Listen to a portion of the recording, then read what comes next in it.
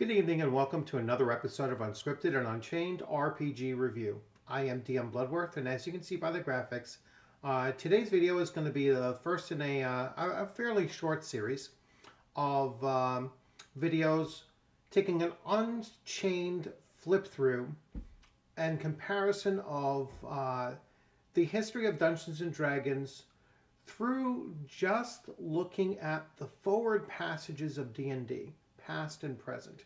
So this is going to be part one, where I'm focusing on the the first four editions of Dungeons and Dragons. Uh, so Dungeons and Dragons Basic or OD, ODND, uh, including then Basic, and then finally the uh, the expanded version of it, or or um, the BECMI or BECMI, as I call it, uh, from Frank Mentzer. So uh, we're, we're going to start with the original, then move on to the, uh, the following three.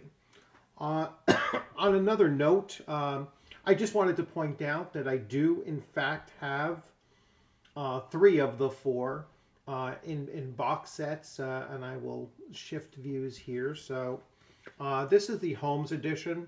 So this is the earliest edition of Dungeons and Dragons that I do own. Unfortunately, I I do not have uh, the OD&D white box set. Uh, if ever I hit uh, the lottery, that would be one of the first purchases that I actually make. And then I follow that up with the, this is the Moldvay book, uh, uh, Moldvay Cook, sorry, uh, edition of the box set.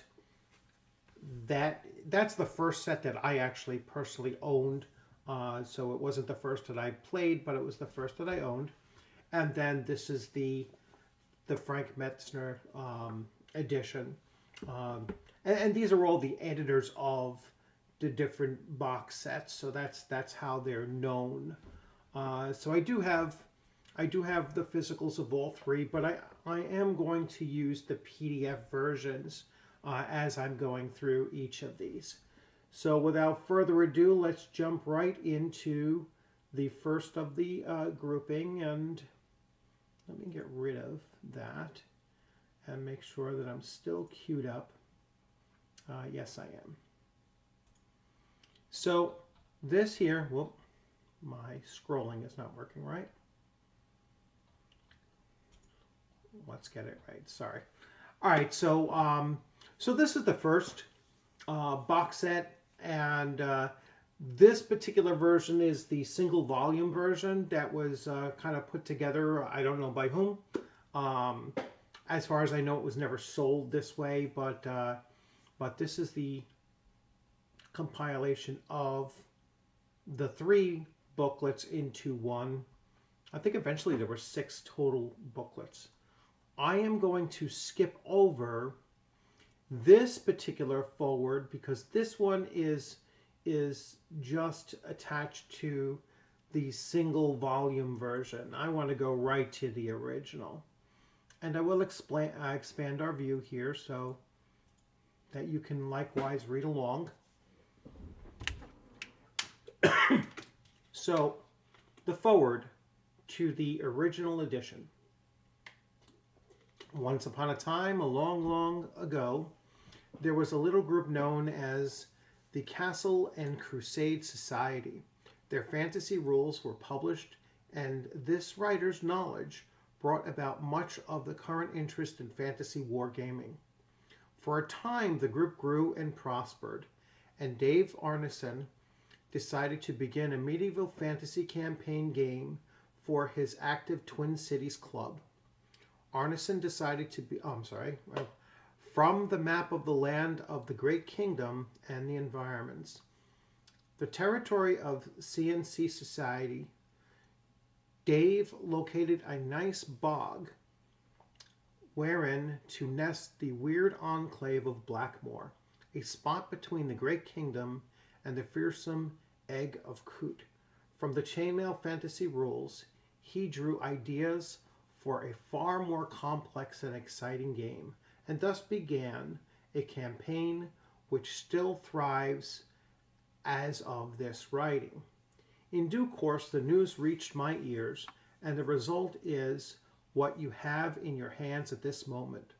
While the C&C Society is no longer, its spirit lives on, and we believe that all war gamers who are interested in medieval in the medieval period, not just fantasy buffs, will enjoy playing Dungeons and Dragons.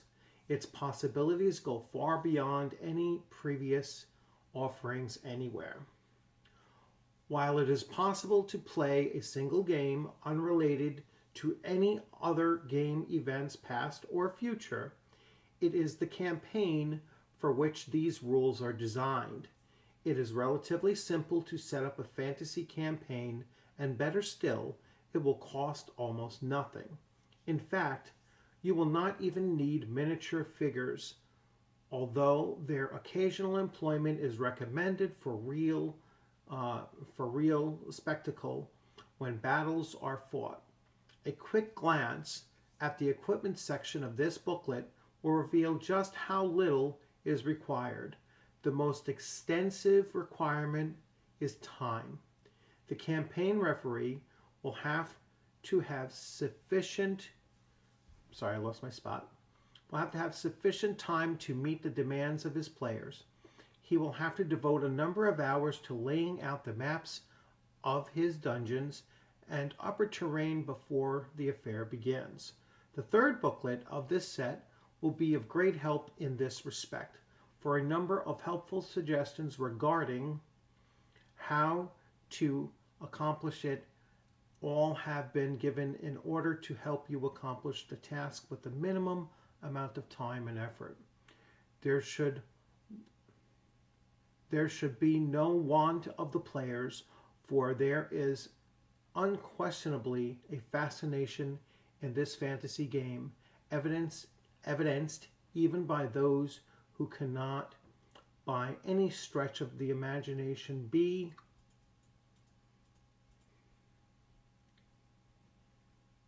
termed ardent wargamers.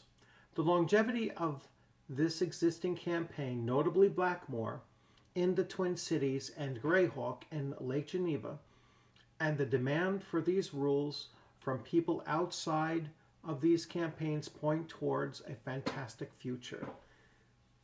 Tactical Studies Rules believes that all forms of wargaming fantasy will still soon become the major contender for first place.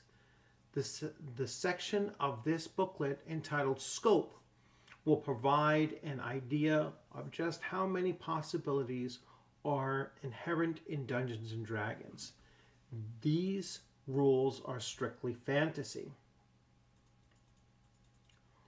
Wargamers who lack imagination, those who don't care for Burroughs' uh, Martian adventures, where John Carter is groping through black pits, who feel no thrill upon reading Howard's Conan saga, who do not enjoy the DeCamp and Pratt fantasies or Fritz Leiber's Fafhrd and the Grey Mouser, pitting their swords against e evil sorceries will not be likely to find Dungeons and Dragons to their taste.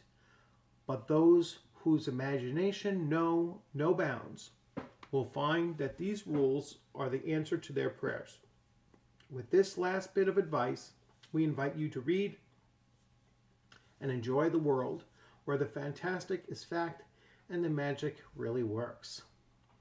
November 1st, 1973, E. Gary Gygax.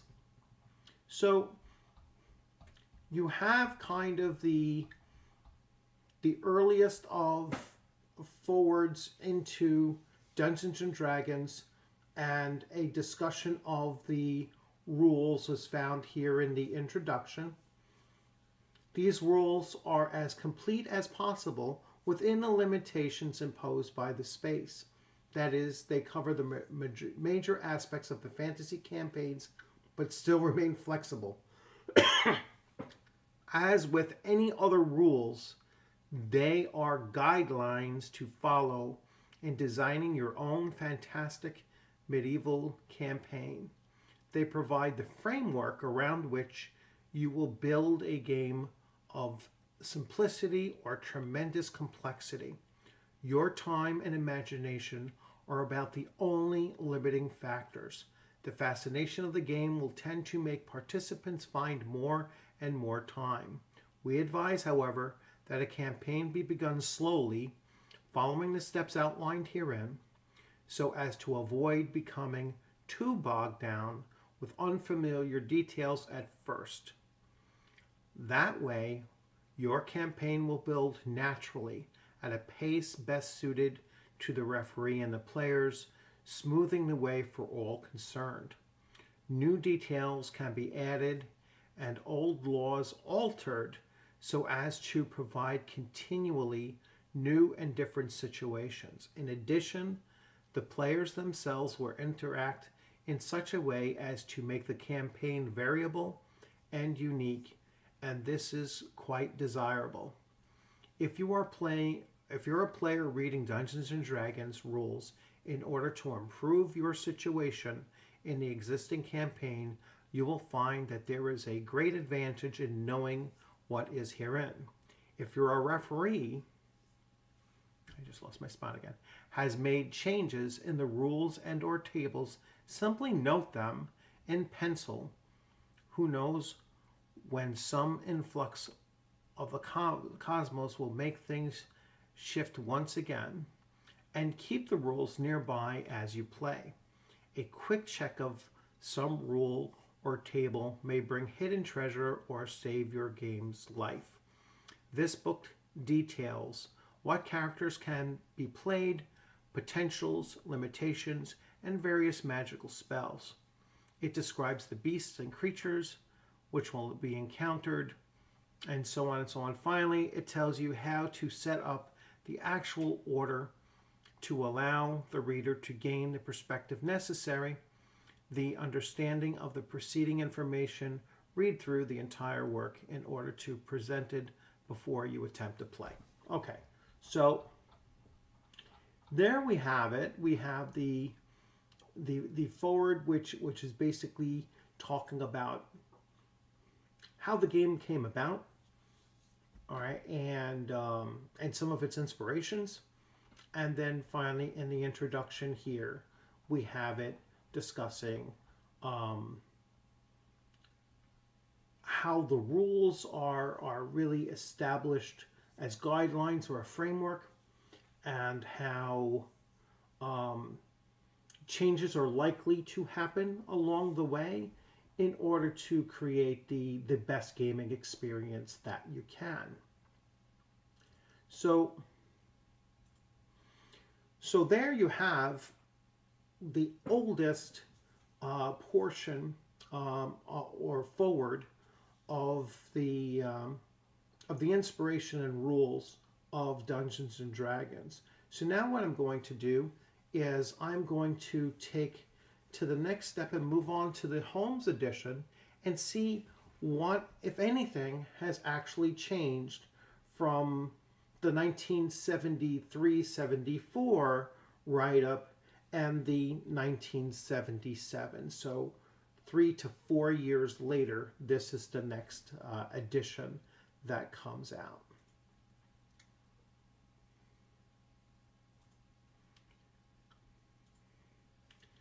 So here we have the Holmes edition.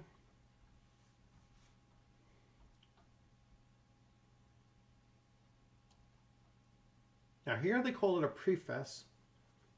So this book is based upon the original work published in 1974 and the three supplementary books published the, in the two-year period after the initial release of Dungeons and Dragons. It is aimed solely at introducing the reader to the concepts of fantasy role-playing and the basic play of this game.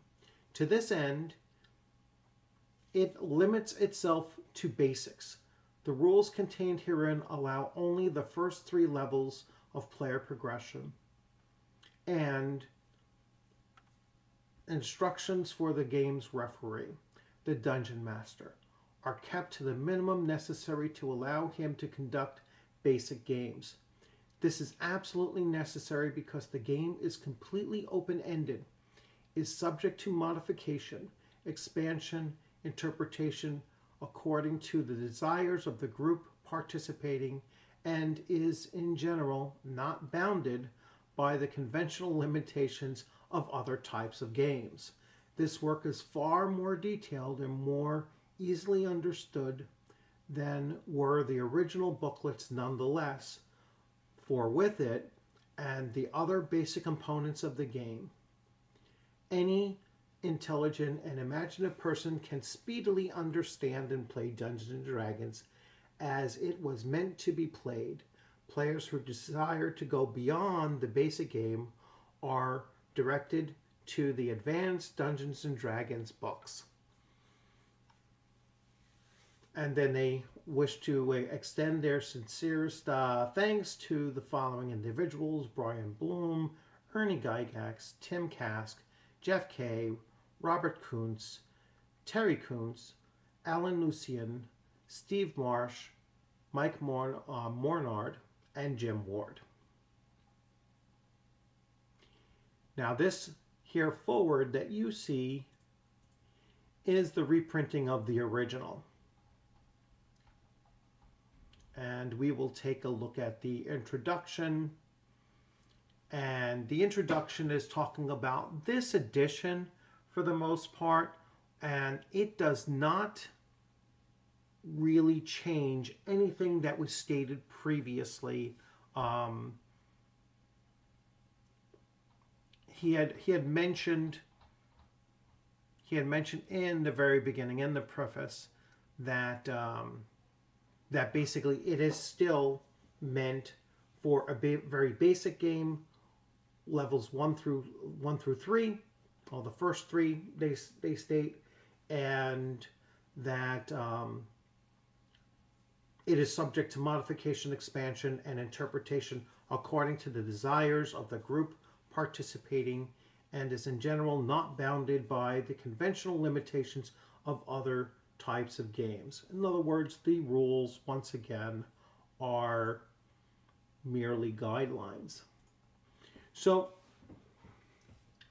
now I've taken you through the first four or so years of Dungeons and Dragons. And, and you can see so far that it's its evolution has remained somewhat consistent, although this version does allude to the upcoming Advanced Dungeons and Dragons. So if you're looking for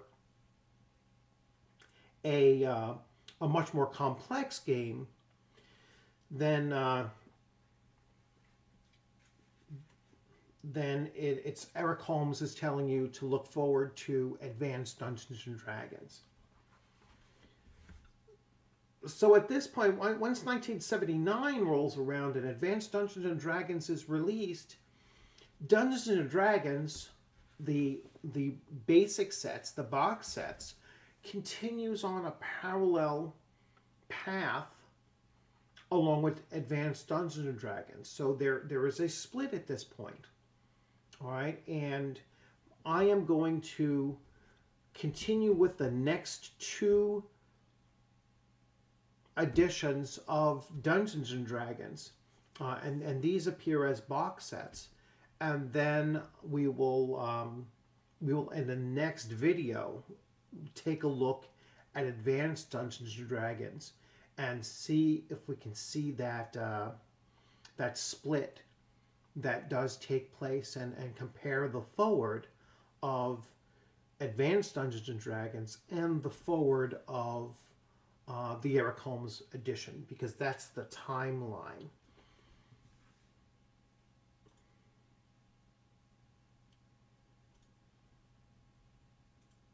Next up, so this is the uh, this is the Moldvay edition. All right, so the Tom Moldvay and uh, and uh, David Cook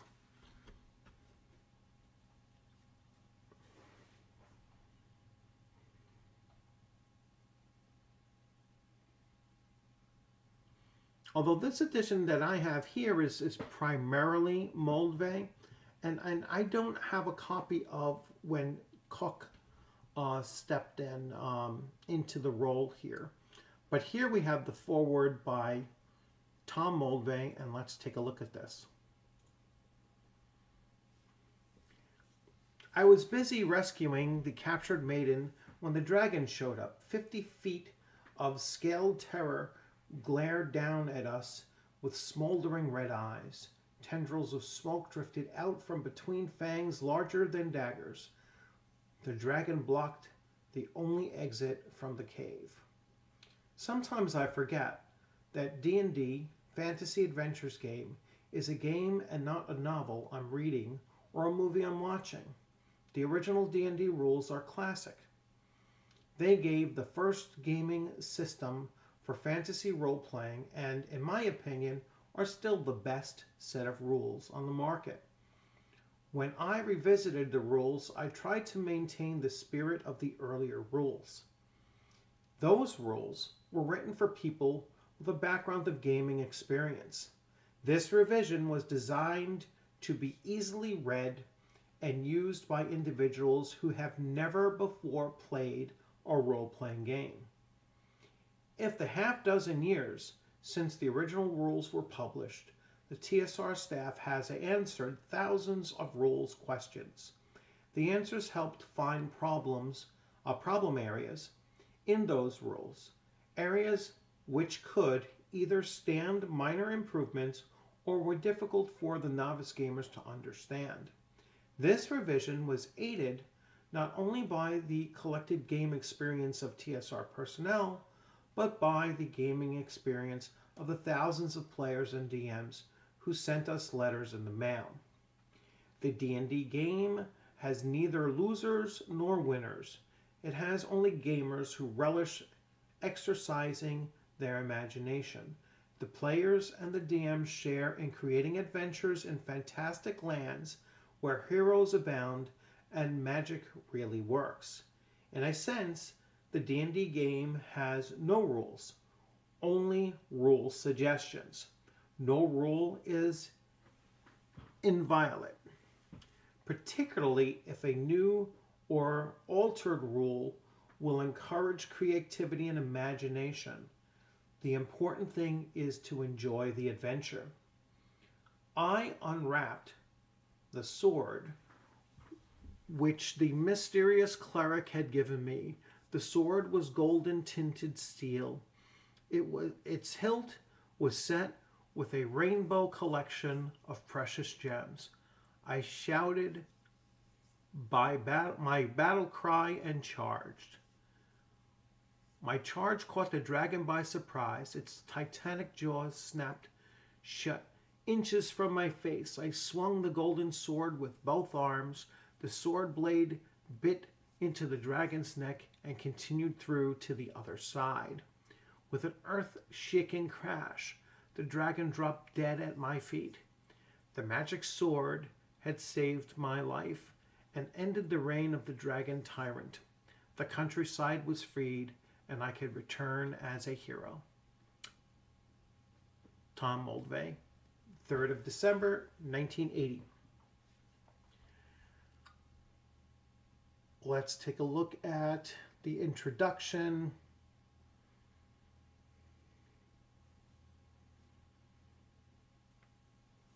Here they talk about the, uh, here he talks about the number of players, at least two persons are needed to play this game.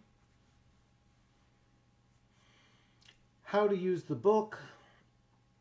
He basically covered very much the same ground as others had. The only real big difference here is um, you can see he's he's getting more into the storytelling aspect of it. And um, he basically writes, those rules were written for people with a background of gaming experience. This revision was designed to be easily read and used by individuals who have never before played a role-playing game. Um, so he, he's kind of setting up that the direction that Dungeons and Dragons is going in is to open it up towards uh, not just people familiar with wargaming, as the original was, but now to bring in people who might not know nothing about wargaming and are coming into uh, this hobby now, the role playing hobby, uh, for the first time, kind of fresh. He also takes uh, a different bent, I think, here, uh, and, and I'm quite surprised that it does happen kind of this early on, is that the D&D game has neither losers nor winners. It has only gamers who relish exercising their imagination. The players and the DM share in creating adventures in fantastic lands where heroes abound and the magic really works. In a sense, the D&D game has no rules, only rules suggestions. No rule is inviolate, particularly if a new or altered rule will encourage creativity and imagination. The important thing is to enjoy the adventure. So here we see the first indication where um, the story and the fun outweighs the game. All right, and uh, and, and we'll see if this continues uh, or does it change at that you know beyond this point here. So here it's moving. I, I would I would argue a little bit more away from the math and more towards the story of the game. Uh, you know, hard set rules, um, which were never really stated as being hard set rules, but more flexibility is being suggested here, and for the purpose of uh, encouraging creativity and imagination.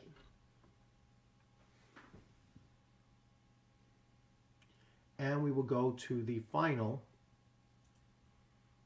All right, so this is the Mentzer uh, basic expanded champion uh, companion sorry basic expanded or expert companion and it goes masters and then immortals.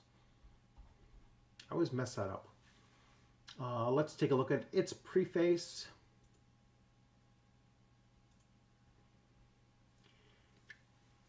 This is a game that is fun. It helps you imagine. As you whirl around your sword ready, the huge red fire-breathing dragon swoops toward you with a roar. See, your imagination woke up already. Now imagine this game may be more fun than any other game you have ever played. Dungeons & Dragons is a game Dungeons & Dragons game, the Dungeon, blah, can't read right now. The Dungeons and Dragons game is the way for us to imagine together, like watching the same movie or reading the same book, but you can write the stories without putting a word on paper, just by playing the D&D game. You, along with your friends, will create a great fantasy story. You will put it away after each game and go back to school or to work, but like a book, the adventure will wait. It's better than a book, though. It will keep on going as long as you like. It is nearly the most popular game ever made, and you will see why in just a bit.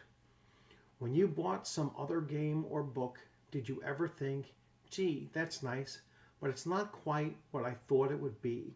Well, your D&D adventures will be just what you want because you're the one making them up.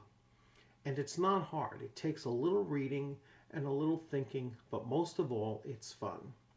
It's fun when you discover that nobody loses and everybody wins. In fact, when you get good at the game, for example, knowing what to expect in a kobold cave and which dragons are on your side, you don't have to put in a coin each time. Like many other games, once you have these rules, you don't need anything else. There's more, of course.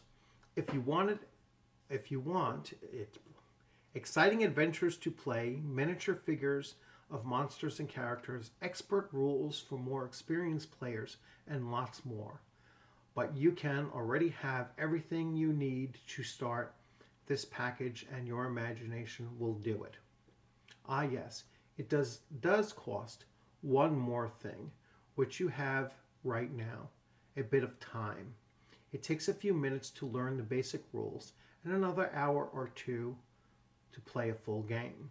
You will probably want to spend more time and might even make it a hobby millions of people have. But for now, just sit back and imagine.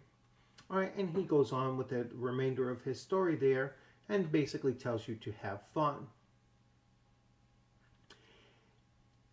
How to use the book, the acknowledgments.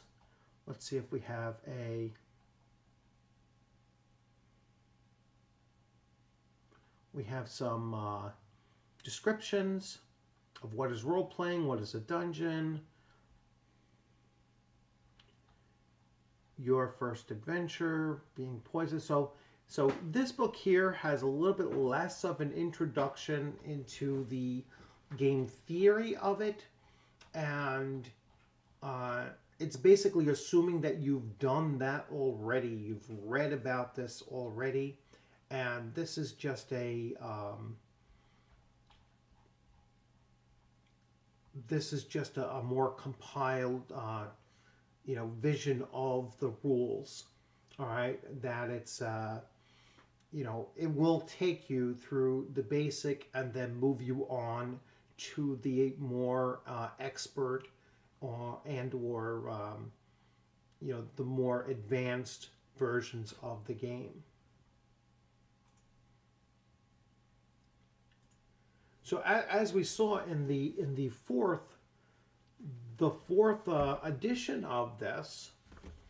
All right, so that's that's this one here. So as of the fourth edition of this, um, you don't really see a, a, change in philosophy of gaming uh, from what was written in the Moldvay or the the Holmes. Uh, Moldvay was the first one that kind of focused on storytelling, as opposed to uh, where Holmes was was talking more about you know rules flexibility and such but but even in the OD&D you know Gygax foreword it was also talking about that flexibility as well.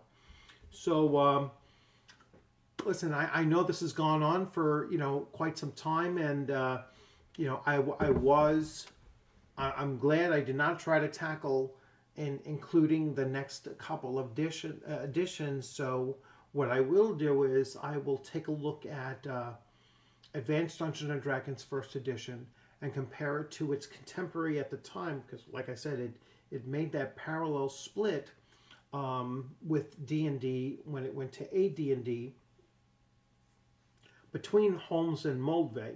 That's when it made that switch. So I'm going to compare Moldvay with First Edition AD&D, and then I will take a look at um, second edition AD&D at the same time uh, because then after second edition AD&D, as you all probably know, then it goes back to D&D third edition um, 3.5 and then fourth and then fifth edition. So I will probably take care of these now in, uh, in just two edition uh, segments, you know, combined up. Uh, so a total of uh, three or four videos at most uh, in this series. So once again, thanks for joining. Um, you know, thanks for uh, thanks for uh, commenting and uh, and requesting this series of videos. I hope that it, it kind of answered any questions that you have. But if you still have others that you want that you want me to take a look at, you know, I, will gladly take a look at those and possibly begin with that in the uh, in the next edition of this uh, of this series. Uh, once again, uh, the, the close of another weekend, so I hope you enjoyed your weekend.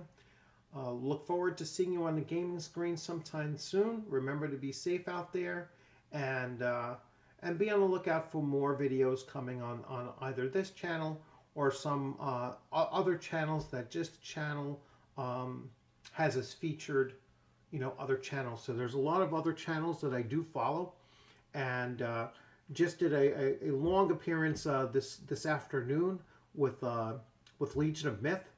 So I, I look forward to uh, you know hearing your commentary about that, looking at their uh, their YouTube channel. uh, to see how, you know, what you thought about that, where we kind of delved as a panel into uh, the OSR and what the OSR means. And, uh, and this, according to my definition, is old school revival. You're going back and you're playing the original older versions of whatever game you happen to be playing, whether it's it's Dungeons and Dragons or first edition or second edition Villains and Vigilantes or Star Frontiers or Marvel superheroes from TSR. So any of the older games that you're going back to, that's part of the OSR. If you believe in what the uh, OSR stands for as far as old school revival, reviving the old games that uh, some of us grew up playing with, or some of you, you might not know how the current game that you are playing, where it started from, where, where its roots are at. And so it's, it's always a great, uh, great deal of fun as a DM to bring players to the original versions of these games, uh, especially if their only context of role playing is more modern games. So to bring them back to those older editions is is a lot of fun uh, to do as a uh, as an experienced GM. It's one of the things that I enjoy most as being a uh, a dungeon master or a game master is to bring players to these older editions of games. So once again, thanks for joining. If you liked the video, please give it a thumbs up. Uh, if you hadn't subscribed, please consider subscribing. Well, hard to talk today. It was a four-hour uh, video session uh, in the afternoon, and, and now a video that's probably run about 40 or so minutes. So once again, thanks for joining, and take care.